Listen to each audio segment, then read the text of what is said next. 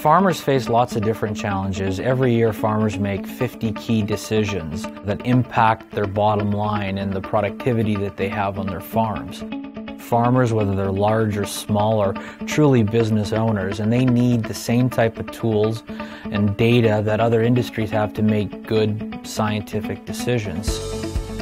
My name is Wade Barnes. I'm the president and CEO and co-founder of Farmers Edge, and my role here at Farmers Edge is to provide strategic direction for the company, ensure that we're being as innovative as possible and being very focused on providing the very best solutions to farmers, not only in Canada but all over the world. Farmers Edge has developed a strategy around uh, totally encompassing all tools, whether it be soil testing, satellite imagery, data movement, software, agronomics, we really wanted to make it a one-stop shop. What makes our product unique uh, is that we really focus on the farmer's field-centric information. We use his data to develop products and tools that help solve a lot of his issues that he has on the farm every day. So I'm really lucky because I'm a farm kid. I'm from a small farm in northwestern uh, Manitoba.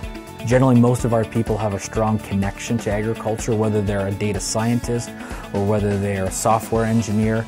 We ensure that a lot of our people know and understand truly what agriculture is.